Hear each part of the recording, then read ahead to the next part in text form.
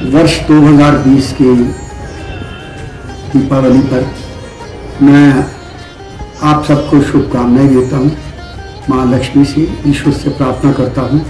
आपका जीवन सुखमय हो, आपके जीवन में समृद्धि आए, देश, समाज और धर्म जो है प्रफुल्लित हो। इन्हीं भावनाओं के साथ एक बार फिर मैं आप सबको दिवाली की शुभकामनाएँ मुबारकबाद देता हूँ।